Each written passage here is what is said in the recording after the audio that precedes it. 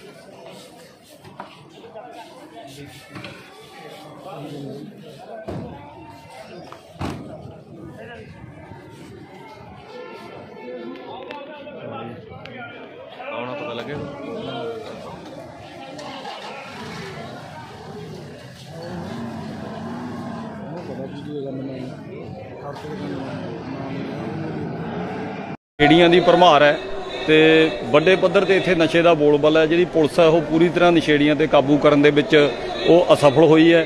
ਤੇ ਅੱਜ ਇੱਕ ਨਵਾਂ ਇੱਥੇ ਘਟਨਾਕ੍ਰਮ ਹੁਣੇ ਹੁਣੇ ਦੇਖਣ ਨੂੰ ਮਿਲਿਆ ਹੈ। ਆ ਬੱਸ ਸਟੈਂਡ ਬਰਨਾਲਾ ਦੇ ਵਿੱਚ, ਆ ਸਾਹਮਣੇ ਜਿਹੜਾ ਜੈਂਟਸ ਟਾਇਲਸ ਬਣਿਆ ਹੋਇਆ ਇੱਥੇ ਕਰੀਬ ਅੱਧਾ ਪੌਣਾ ਘੰਟਾ ਪਹਿਲਾਂ ਇੱਕ ਜਿਹੜਾ ਨੌਜਵਾਨ ਸੀ, ਉਹਦੇ ਹੱਥ 'ਚ ਇੱਕ ਰਜਿਸਟਰ ਫੜਿਆ ਹੋਇਆ ਸੀ।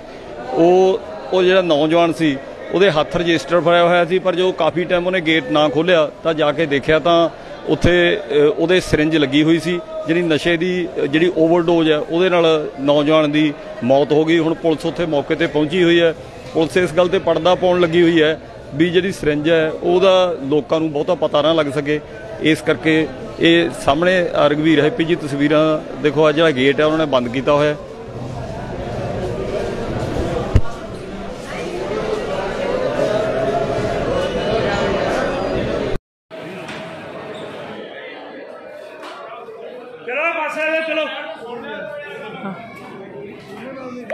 ਹੈ।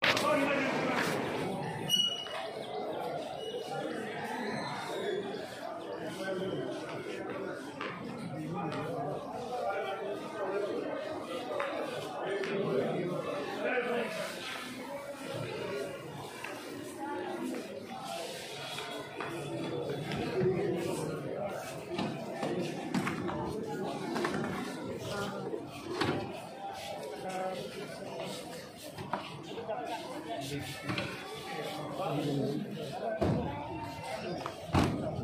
ਜਾਓ, ਚਲੋ ਆਉਣਾ ਪਤਾ ਲੱਗੇਗਾ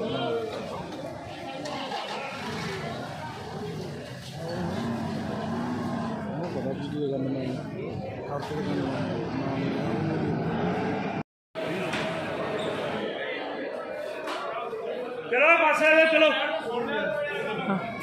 Yeah.